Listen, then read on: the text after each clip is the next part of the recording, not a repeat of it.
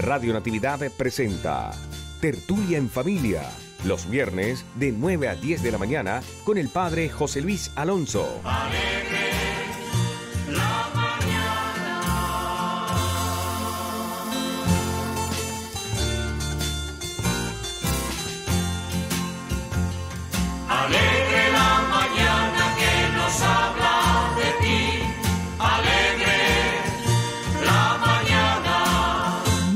Buenos días, nos dice Jesús las mejores bendiciones de mi corazón para cada uno de ustedes. Vamos a estrenar un nuevo día o estamos estrenando un nuevo día y en este año hemos de experimentar el amor, la bondad, la generosidad de Jesús que nos invita a superarnos y a dar la talla porque somos su presencia, su prolongación allí donde vivimos y trabajamos. Y vamos a comenzar con la palabra de Dios. Jesús salió del agua después del bautismo de Juan Bautista. Se abrió el cielo y el Espíritu Santo bajó sobre él y se oyó una voz del cielo que decía, tú eres mi Hijo muy amado, en ti tengo mis complacencias. Palabra del Señor, gloria a ti Señor Jesús. Qué hermosa escena que la hemos de vivir, rumiar, mm, profundizar, saborear y agradecer continuamente. Dice Papa Dios a Jesús, tú eres mi hijo muy amado, pero Jesús no necesitaba escuchar esa tremenda y hermosísima declaración de amor, porque era hijo eterno de Dios. Pero es que Jesús quería escucharlo para decirnos a cada uno lo que me dice Papa Dios a mí como cabeza es para que ustedes lo vivan, lo asuman, lo disfruten y cada día lo agradezcan. Tú eres mi hijo o mi hija muy amada. No dice Papa Dios, fuiste o serás. No, tú eres cada día, todos los días, continuamente, por toda la eternidad, mi hijo o mi hija muy querida. Es una declaración de amor personal. Y esto hemos de vivirlo cada día. No tenemos que dar tanta preocupación o tanta importancia a nuestras debilidades y pecados, aunque sean una realidad tremendamente terrible. Hemos de poner alma, corazón y vida en Papa Dios, que mirándonos con inmenso cariño y ternura, nos dice de día y de noche, tú eres mi hijo o mi hija muy querida, en ti mm, tengo todas mis complacencias.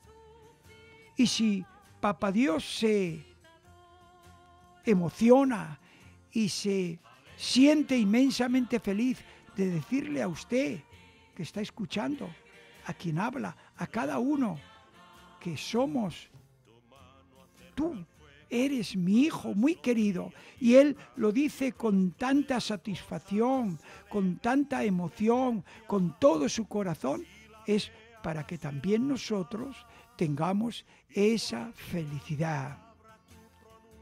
Esta es la base, la plataforma que nos da alegría, que nos da seguridad, que nos da confianza pase lo que pase, vengan mm, pandemias, vengan desastres, vengan terremotos, vengan tribulaciones, nuestra fuerza, nuestra seguridad, nuestra felicidad y salvación es Papa Dios que nos ama por medio de Jesús con el amor del Espíritu Santo.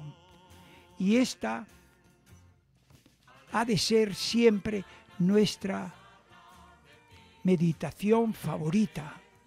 Soy hijo o hija muy querida de Papa Dios.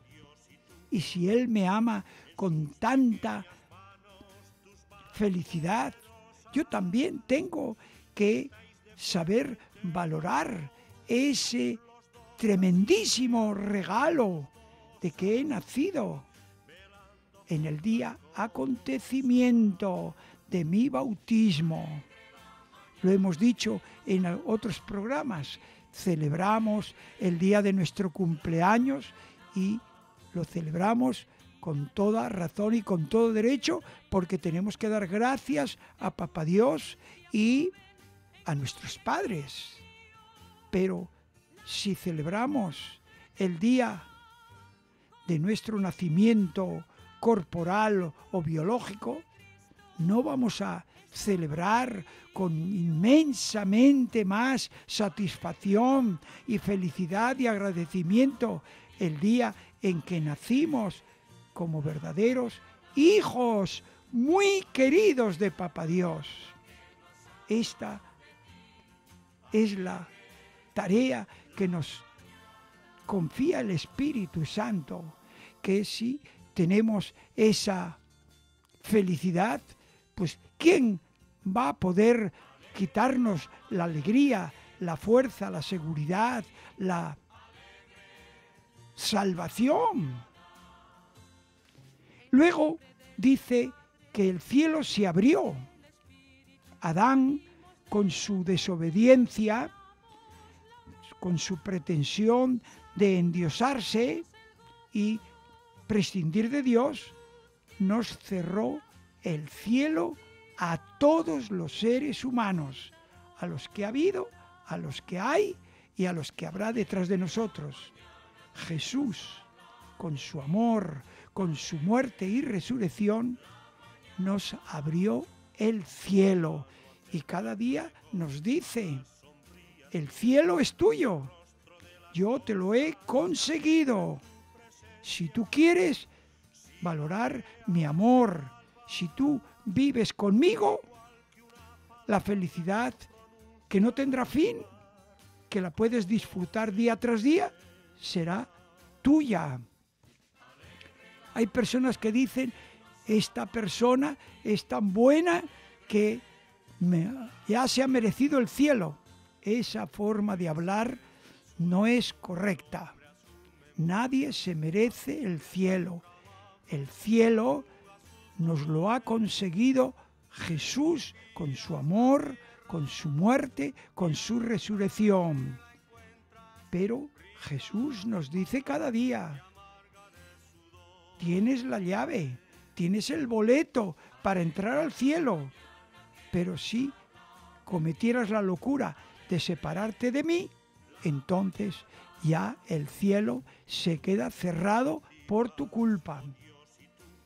Jesús, por ser Dios, no necesitaba ver el cielo abierto, pero sucedió en él por ser nuestra cabeza, el representante de todos nosotros, para que nosotros que somos miembros de él, que somos su cuerpo, pues tuviéramos la garantía, la seguridad total del cielo, de esa felicidad que durará para siempre, para siempre, para siempre. Si decirlo nos llena de emoción y de entusiasmo y de esperanza, ¿qué será cuando lo experimentemos después de nuestra muerte? Todos necesitamos, y hoy más que nunca, mantener nuestro corazón firme en el cielo. En la Eucaristía nos dice el sacerdote, levantemos el corazón. Y nosotros respondemos, lo tenemos levantado. hacia el Señor, hacia el cielo, pero con los pies en el suelo, procurando progresar, superarnos, trabajar por el bien, el beneficio de nuestra familia, de nuestra comunidad. Este ha sido siempre el, el plan de todos los santos.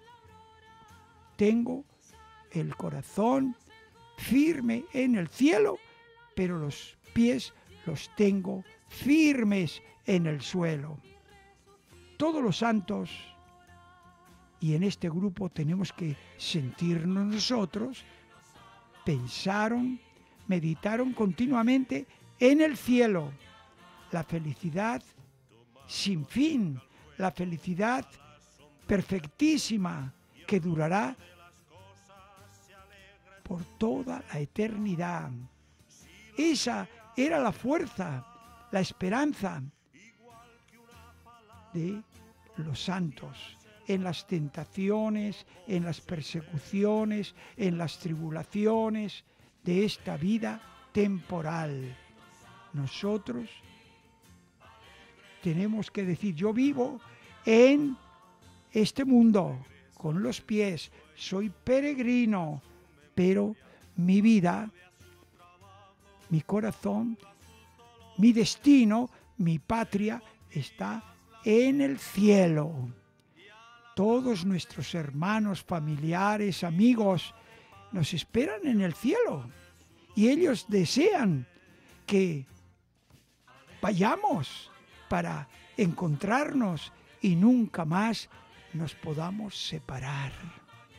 Esto los ateos pues se burlan y dicen, eso es un cuento, eso quién, quién lo sabe, eso es una imaginación pero todos los santos durante más de dos mil años han tenido esa certeza, esa convicción, esa seguridad. Jesús me ha abierto el cielo, el cielo es mío. Yo quiero vivir cada día lleno de alegría, lleno de agradecimiento ¿Por qué? Porque me espera una felicidad que la voy anticipando desde las cosas pequeñas de cada día.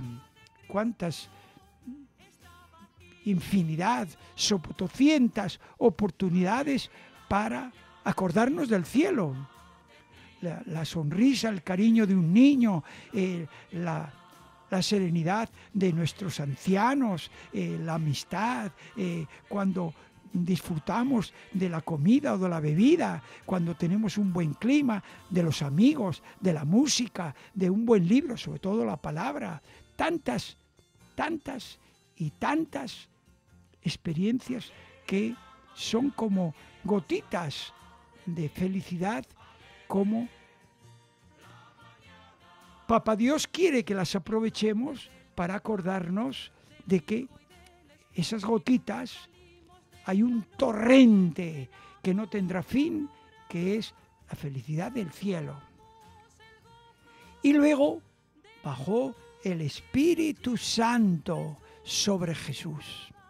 Y una vez más tenemos que tener bien claro Jesús no necesitaba el bautismo porque era hijo eterno de Dios, pero Jesús quiso que bajara el Espíritu Santo sobre él porque él era la cabeza de todos nosotros que tenemos el privilegio, la gracia sublime, increíble de formar parte de Jesús. Jesús, que es Dios, es la cabeza y nosotros que somos criaturas somos su cuerpo. Y Jesús, cabeza, y Jesús, cuerpo, formamos un solo y único Jesús. Si queremos vivir en el corazón de Papa Dios, íntimamente y cada día más unidos a Jesús, necesitamos la presencia del Espíritu Santo. Cuánto le gustaba a San Pablo decir a, sus cristianos, ¿no saben ustedes que son templos de Dios y el Espíritu Santo mora dentro de cada uno de ustedes? A nuestros niños hemos de mm, recomendarles, eh, hemos de mm, evangelizarles, haciéndoles comprender que son templos del Espíritu Santo. Y si el Espíritu Santo es el corazón de cada uno de los bautizados, es porque vivimos sumergidos en lo más íntimo de Dios Trinidad, con el Padre, con el Hijo, con el Espíritu Santo. Al Espíritu Santo lo hemos de adorar porque es Dios. Y lo hemos de tener en muchísimo cariño, porque vive dentro de nosotros. No podemos cometer la tremenda equivocación de dejarlo ahí como si fuera un dibujo. Y perdonen la comparación. El Espíritu Santo es más íntimo que nuestra propia intimidad personal. Y si dice el mismo Espíritu Santo que nadie puede decir Jesús es el Señor si no es movido por el Espíritu Santo, pues todo lo hemos de realizar con y desde el Espíritu Santo. Desde que abrimos los ojos al inicio del día hasta que los cerramos, hemos de acordarnos del Espíritu Santo, adorarle, invocarle, pedirle que nos consuele, que nos fortalezca, que nos sane, que nos llene de Jesús, que nos sumerja en el corazón de Papa Dios, que nos llene de Jesús.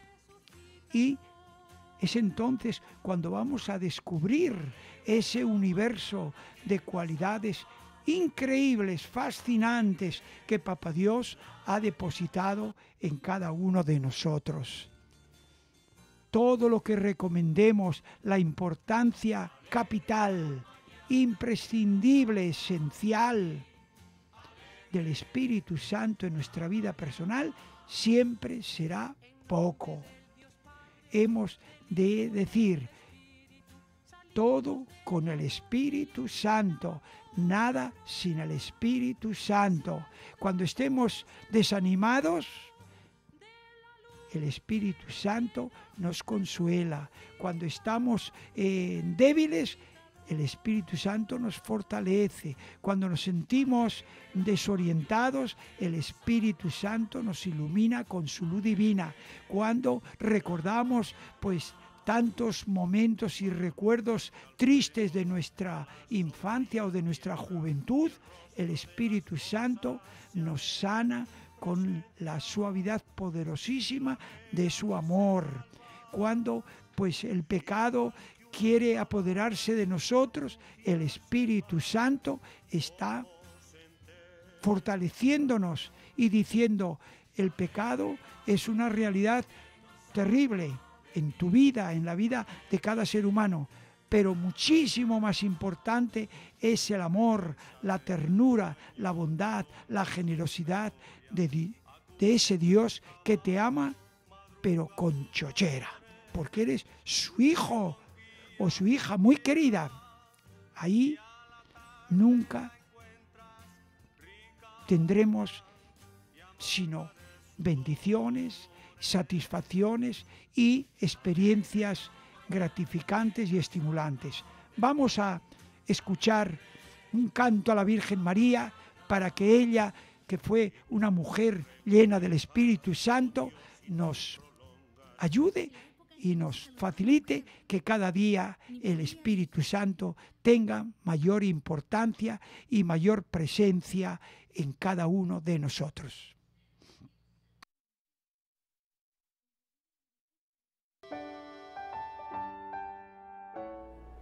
Hay decisiones importantes que debemos tomar todos los días y hay una que depende de ti. No tengas miedo, el Señor tu Dios no te abandonará ni te dejará. Regálate la oportunidad de verle crecer en cada una de sus etapas. El regalo que llevas en tu vientre es tu mayor bendición. Dice a la vida, no al aborto. La devoción a la Santísima Virgen María nunca lo podemos olvidar. Es esencial en nuestra fe cristiana católica. Y esto lo podemos pues fundamentar y hacerlo pues eh, como la razón de nuestro cariño filial a la Virgen María, apoyados en la palabra de Dios, en la enseñanza oficial permanente de nuestra Madre, la Iglesia que Jesús fundó, en la experiencia de todos los santos. Y por eso la Virgen María nos dio a Jesús y estuvo con Jesús siempre, íntima y permanentemente unida a Él.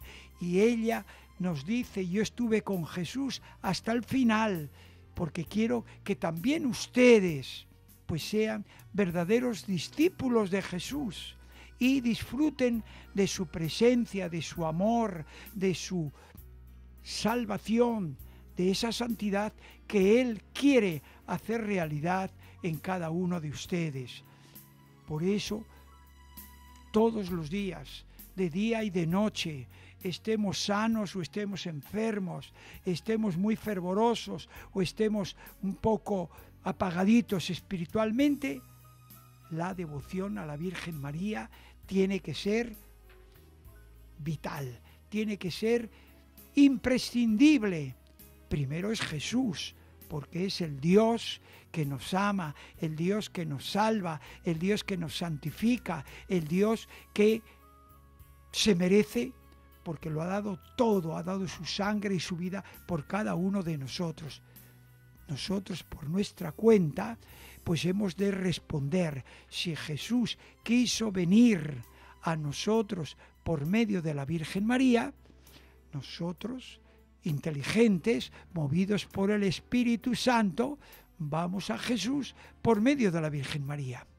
Esta ha sido siempre la orientación de la Iglesia que quiere lo mejor para cada uno de nosotros.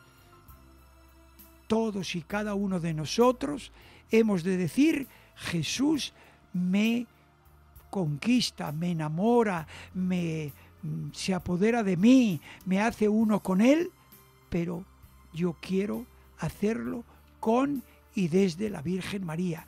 Y fíjense, no podemos nunca olvidarnos de que Jesús, que vivió 33 años eh, en este mundo, 30 los vivió con su Santísima Madre. Esto pues es realmente un argumento que nos tiene que eh, conquistar el corazón. 30 años que Jesús estuvo codo a codo con su Santísima Madre, cómo la valoraba, cómo la amaba. Cada uno de nosotros hemos de seguir su ejemplo. Y la Virgen María nos dice cada día, hagan lo que Jesús les diga. La Virgen María no es eh, la que habla y dice cosas y no entendemos lo que dice. No, no, la Virgen María como mujer y sobre todo como madre, en cinco palabritas nos dice lo que tiene que ser la vida del verdadero seguidor de Jesús del verdadero cristiano católico. Bien, vamos a escuchar la canción de San José como introducción para lo que vamos a hablar de este nuestro santo, que ha de ser el santo preferido de nuestro corazón. La, Santa, Eucaristía. Eucaristía, milagro de amor. Quédate en casa pero disfruta de la Santa Eucaristía. Pan transformado en el cuerpo de Cristo. A través de nuestro canal de YouTube, Radio Natividad, en, Facebook, Live, y en, la, aplicación, Zoom. La, Santa, Eucaristía, 7 de la mañana y 7 de la noche. Radio Natividad, la voz de Dios.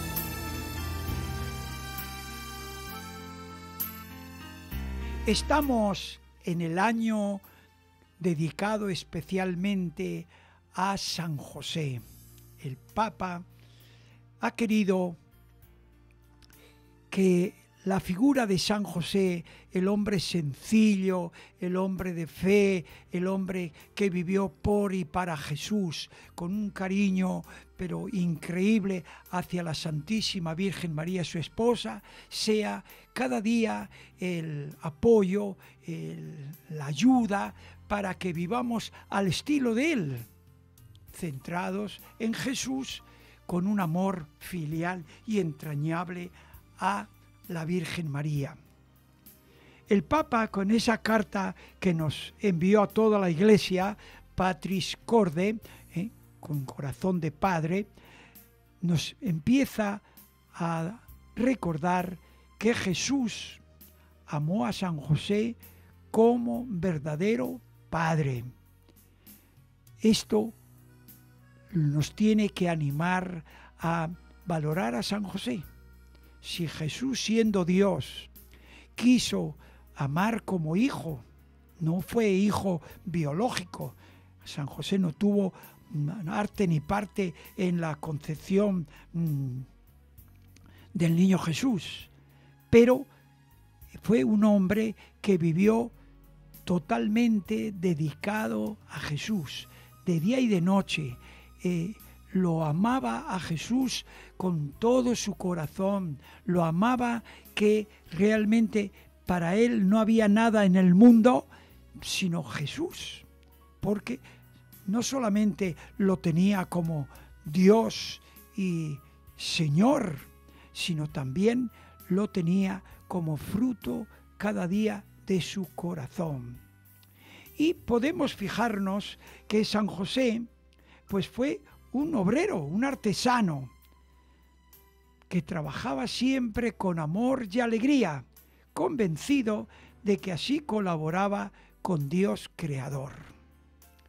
Esta faceta nos tiene que ayudar a todos a valorar nuestro trabajo, estemos en la cocina estemos en la oficina, estemos eh, en el trabajo mm, que llama mucho la atención o en un trabajo que nadie lo valora. El trabajo refleja nuestra personalidad. El que trabaja con amor está diciendo yo soy un señor, una reina. El que trabaja con desgana, con mala cara, pues está diciendo yo soy un Juan Bimba, y perdónenme la palabra, pero para que me entiendan, el trabajo es el reflejo de lo que somos y valemos. San José trabajaba con amor y alegría.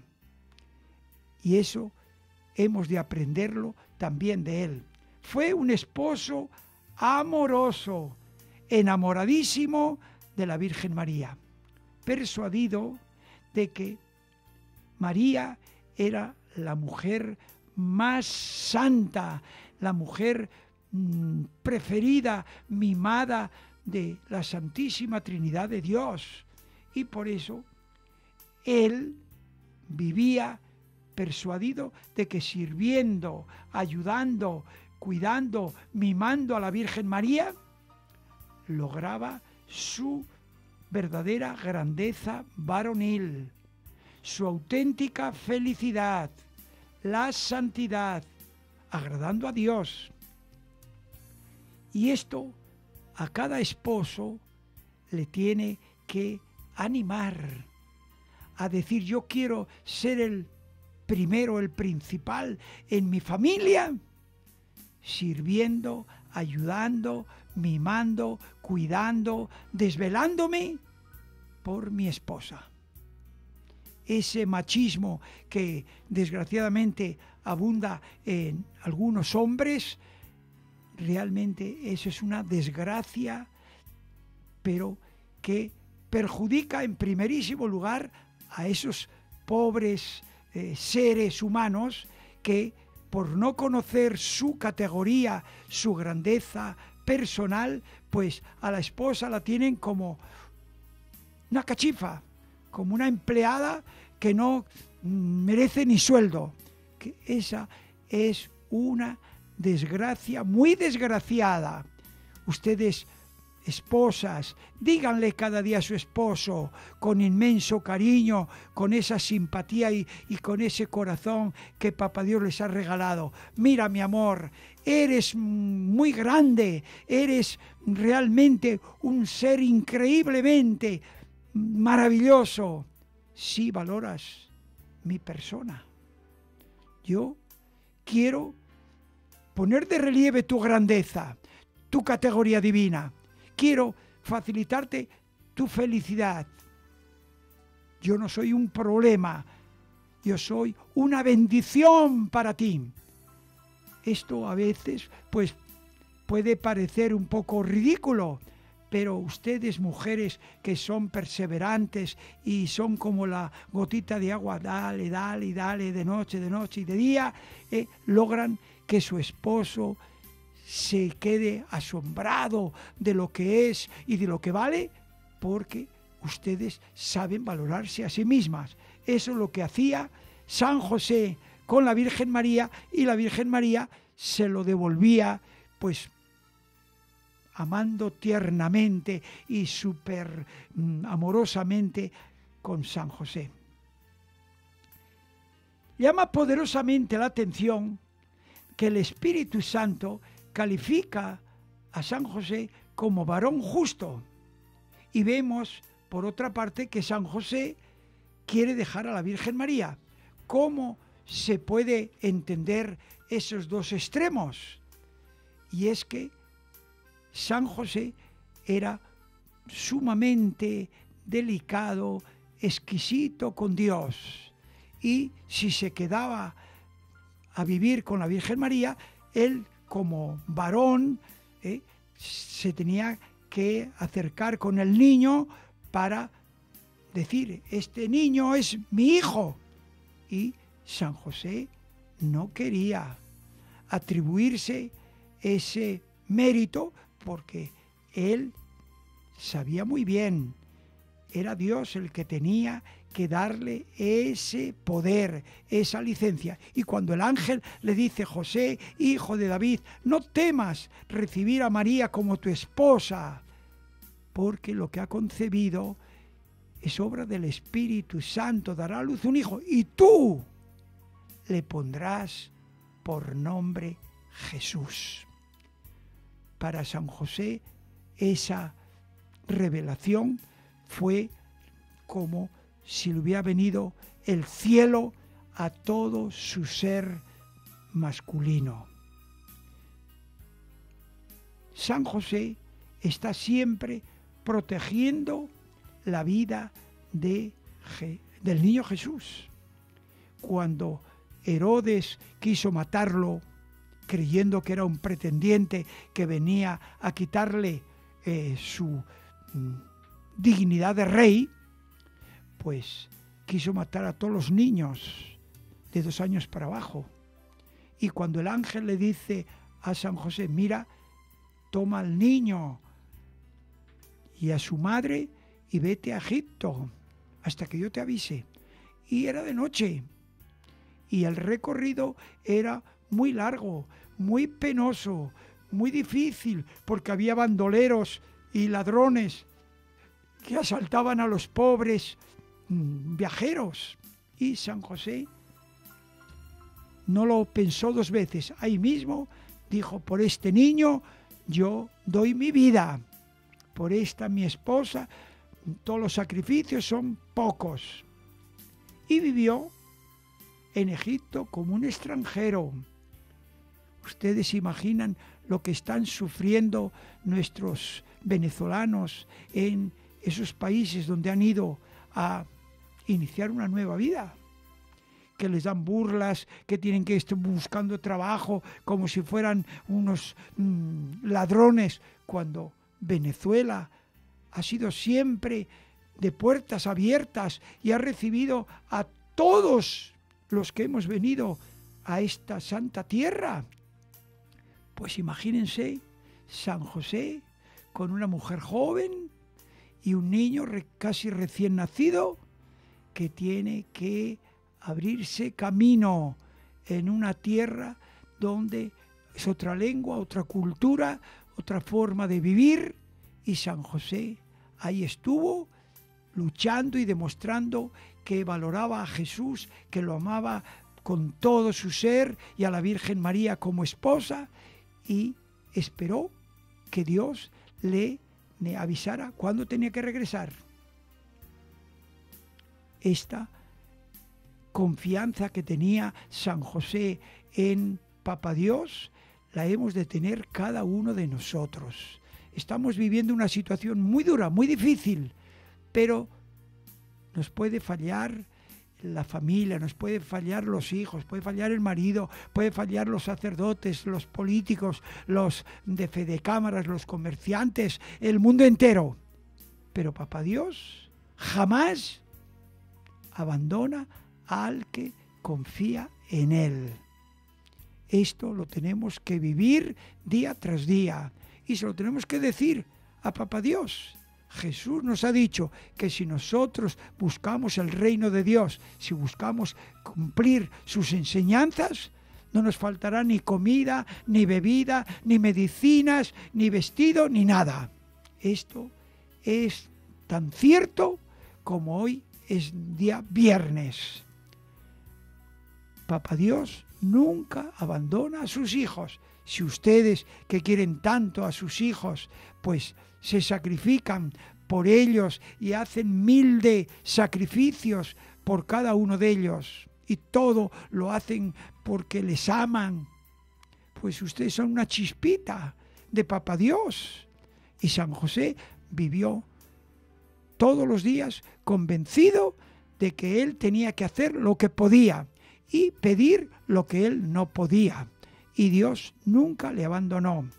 Cuando regresó vivió de una manera silenciosa, humilde, en un pueblito pequeño y desconocido que era Nazaret. Esta confianza que tenía San José en Papa Dios la hemos de tener cada uno de nosotros. Nosotros podemos sentir que el agua nos llega casi hasta ahogarnos, pero siempre está el amor, la solicitud amorosa, eh, solícita, continua de Papa Dios. Esto lo vivió San José todos los días, que vivió una vida de pobreza, de mm, mucho sufrimiento a todos los niveles, pero él experimentó continuamente la protección, el amor, la solicitud paternal, amorosa de Papa Dios. Esta tiene que ser siempre nuestra confianza.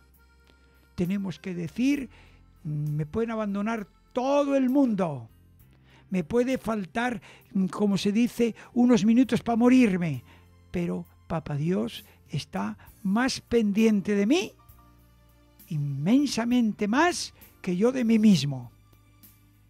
Esta tiene que ser siempre nuestra confianza.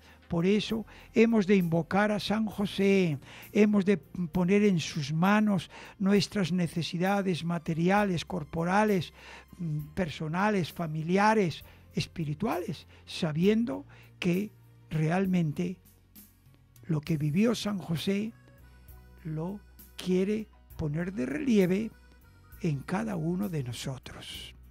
Todo los días, cada día hemos de recurrir a San José, porque Papá Dios nos dice, acudan a San José y hagan lo que Él les diga. ¿Quién puede ayudar a uno que pasa necesidad sino otro que ha vivido la misma situación? Esto nos tiene que animar que San José, que fue un obrero que tuvo que buscar trabajo, que mm, estaba, como se dice, midiendo los centavos para que nunca faltara lo necesario a, a su hijito San Jesús y a su santísima esposa, pues él también conoce nuestras dificultades y necesidades. Invoquémosle, acudamos a Él, porque vamos a experimentar que es el santo que más manda en el cielo y el que más socorre a los que acuden a Él. El que acude a San José siempre sale bendecido y favorecido. No decimos nada especial cuando estamos reconociendo que la situación que vivimos hoy en nuestro querido país y en el mundo entero, y lo vemos a través de los, me primero personalmente y después por medio de los mm, instrumentos de comunicación social, la televisión, internet, eh, WhatsApp, app, prensa, radio, cine, nos impresiona, nos golpea a veces duramente, obligándonos a pensar, a reaccionar, a poner de relieve todos nuestros valores, posibilidades y cualidades. No decimos nada del otro mundo cuando pues mm, declaramos que hay dos grupos de personas en el mundo. Unos, hombres y mujeres, que son positivos, que son constructivos, otros son negativos y pesimistas. Para los que tienen actitud mental positiva, constructiva, la realidad de cada día, por difícil y terrible que sea, es una magnífica oportunidad para iniciar nuevas empresas y negocios. Por el contrario, para los que tienen una mentalidad negativa, pesimista, todo lo ven negro e imposible. Nos conviene recordar que en el año 1930 se produjo en Estados Unidos de América la llamada la Gran Recesión. La economía nacional se derrumbó se cerraron muchas fábricas y empresas de tal manera que el panorama laboral mostraba un cuadro terrible y desolador. Ante este panorama negro, lleno de crisis, de ruinas, desgracias y nubes negras, un grupo de hombres pensaron, podemos iniciar nuevas empresas, crear nuevos negocios, es la hora para salir adelante con la ayuda de Dios y el esfuerzo de cada uno de nosotros. ¿Qué lograron? Mucho más de lo que pensaron e imaginaron. Este grupo optimista, esperanzado, que veían posibilidades, que veían oportunidades de superarse, llegaron más lejos de lo que ellos pensaron.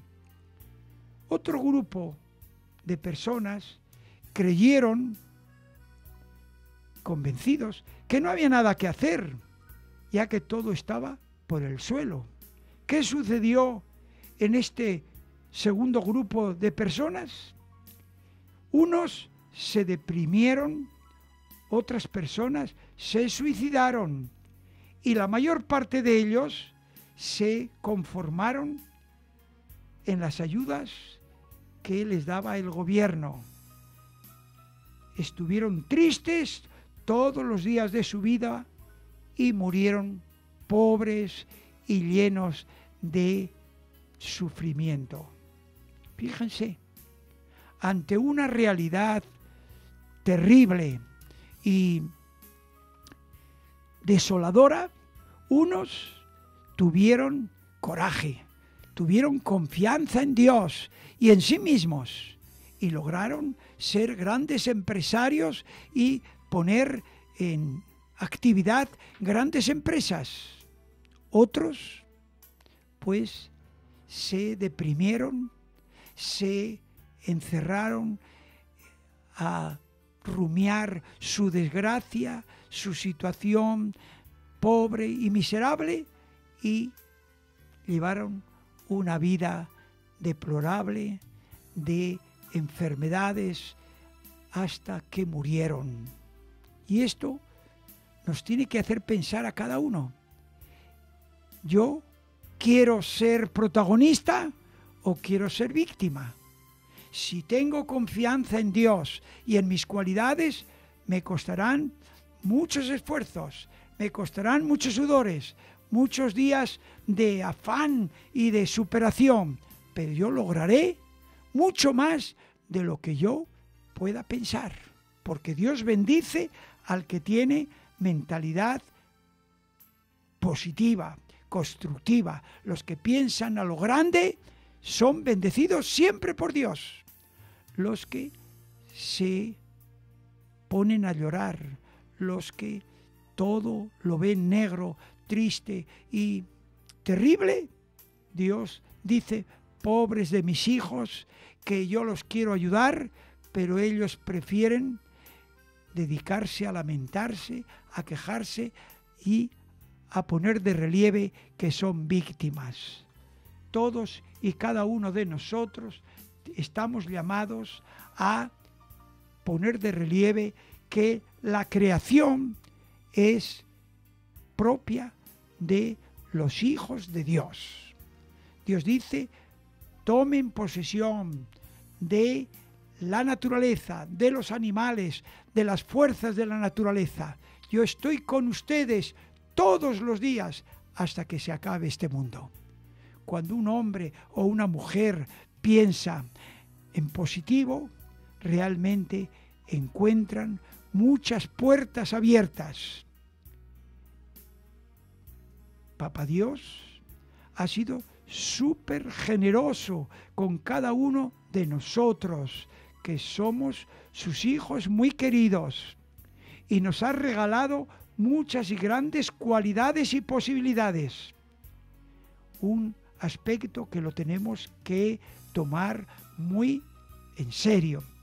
Luego nos ha hecho nacer y crecer en un país tan hermoso como rico. Primero, por lo más valioso de todo, sus habitantes. Los que vivimos en Venezuela tenemos que sentirnos, pero inmensamente felices, porque hemos nacido en un país que lo tiene todo, pero sobre todo lo más grande, lo más valioso, somos cada persona. Y nos ha concedido toda clase de riquezas naturales, metales preciosos, ríos caudalosos, flora hermosísima, fauna admirable, montañas impresionantes, paisajes de belleza increíble. Papá Dios nos ama con todo su amor cada día nos da un voto de confianza, confía plenamente en cada uno de nosotros, de tal manera que ha querido bendecirnos, digámoslo con toda verdad, nos ha querido bendecir súper generosamente, convencido de que cada uno de nosotros sabremos responder a esa su confianza. Y con su ayuda lograremos una Venezuela admirable, espectacular, próspera en valores humanos, espirituales, intelectuales, afectivos, industriales. Esto no es una forma de, mm, pues, dar una palmadita en la espalda y decirnos, ánimo. ¿eh? No, no, no. Esta es la realidad que Dios quiere para usted que está escuchando, para quien habla, para cada uno de los que somos sus hijos. Dios no quiere vernos arrugados, desanimados, eh, conformistas, pasivos, quejándonos de que la culpa la tiene fulano de tal o la tiene no sé. No, no. Eso es pérdida de tiempo. Eso es hacernos daño. Eso es ponernos una roca encima de la cabeza y aproximarnos antes de tiempo a nuestra sepultura. Cada día tenemos que decir, hoy es el día en que actúa Papa Dios en mi favor. Yo quiero pedirle que me ayude y yo voy a poner eso poquito que está a mi alcance. Porque no lo diremos nunca bastante, el 99% de las cosas buenas, positivas, eh, bellas y santas de cada día de nosotros, lo hace Papa Dios por medio de Jesús con el amor del Espíritu Santo. Nosotros ponemos el 1%, pero el beneficio es 100% de cada uno de nosotros. No podemos perder energías y tiempo en lamentaciones, en protestas, en quejas, en conversaciones eh, tristes. Tenemos que decir, ¿qué puedo hacer yo hoy para salir adelante, para demostrar que soy un señor, que soy una reina? Puedo rezar, a rezar. Puedo eh, pedir un préstamo, puedo cultivar una plantita, puedo eh, buscar nuevas posibilidades, convencidos de que Papa Dios está siempre a nuestro favor. Y cuando nos ve positivos y constructivos, Dios se vuelca y hace cosas, pero realmente impresionantes. Y estaba ayer leyendo que un señor se quedó en una gran capital sin trabajo y estaba allá donde eh, un terminal de pasajeros allá con cara de moribundo y se acercó un hombre y le dijo amigo mío mire aquí mm, hay mucha necesidad de alguien que limpie zapatos mire este hombre dijo ay caramba qué buena puerta y se fue a una tienda de mm, material para eh, comprar un cepillo y crema y se puso a limpiar zapatos. Este hombre nunca imaginó que iba a ser un gran empresario de limpiador de zapatos en Estados Unidos. ¿Por qué? Porque alguien le inyectó actitud mental positiva cuántas posibilidades de salir adelante tenemos en Venezuela. Esto, mire, es como decir que cuando sale el sol tenemos calor y mucha luz, pero a veces pues nos dedicamos a llorar, a quejarnos, a arrugarnos. No, tenemos que poner de relieve.